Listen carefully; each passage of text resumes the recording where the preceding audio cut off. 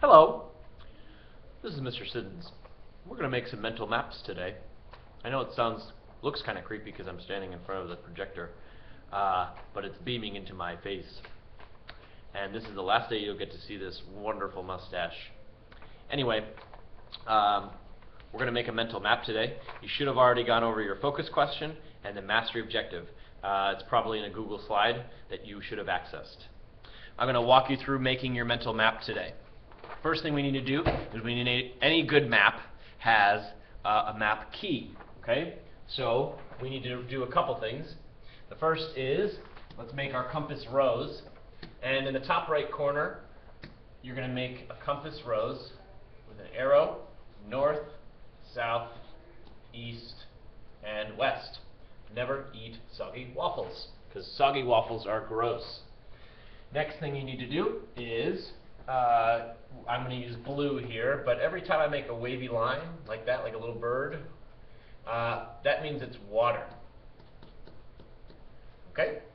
And the second one is every time I make a green triangle, that equals uh, mountain ranges. I'm abbreviating, but you should not for time. So, water is blue, wavy lines that look like a bird. Can you see that? No, you can't, so let me show you it. Okay? Water is blue, wavy lines. Mountain range, green. Okay? All right, let me get back to red. Let's label some peninsulas. There are four peninsulas. One, two, three, four. A peninsula, as you know, is an area of land surrounded by water on three sides. The first one is the Iberian Peninsula. It's the land of Iberia. Iberian Peninsula. Please write the word peninsula. That's the first one. The second one looks like a boot, and that is the Italian. Okay? Every time you're looking to get your bearings and to figure out where things are, look for the boot. It looks like a high-heeled boot. Next is the Balkan Peninsula, B-A-L-K-A-N. The Balkan Peninsula. That's where Greece is located. While we're at it, please add in uh, a little nub here. Forgot to add in Greece. Talk about that later. Last one is the Anatolian Peninsula. You should write out the word peninsula. Down in the south, we have Egypt. We learned about Egypt in the first quarter. This whole area down here, you need to label, it is North Africa. That whole area is North Africa. Okay? All right. So let's uh, let's label some bodies of water, shall we? Over here, all the way in the west, we have the Atlantic Ocean. When you stick your toes into the Jersey Shore or Ocean City, you're to be stepping into the same ocean as those in Iberia. That's wonderfully interesting. All right, next body of water is the biggest one, the big kahuna, and that is the Mediterranean Basin.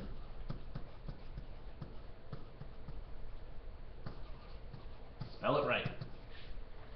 Okay? Mediterranean Basin. In between the Italian and the Balkan, we have another body of water, which is the Adriatic Sea. Okay? And before I move any further, I want to add in a bunch of little boxes down here. Mm, little squares. We can do dots. We're going to add in two things here. Okay? The first, this is this is known as the Aegean Islands. Okay? And I'm going to add in another kind of long box here. This is the island of Crete. C R E T E. Okay? All among the Aegean Islands, there are thousands of them. They're not all livable, but there are thousands of them. This is called the Aegean Sea. Okay? Now, upper northwest corner is something that connects this area with Russia. This is called the Black Sea. It's Russia's only access to a warm water port. Not very important to our studies, but something to think about um, as you learn more about history. Okay, let's add in some mountains. Go to the northwest. We're going to add in some mountains by Iberia. Put in some triangles here. That is something called the Pyrenees Mountains.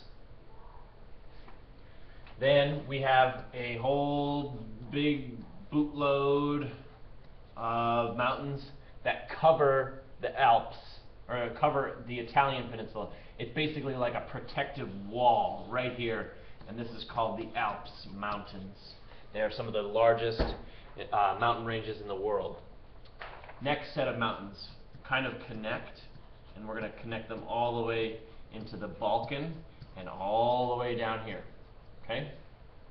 And these are called the Dinaric Alps.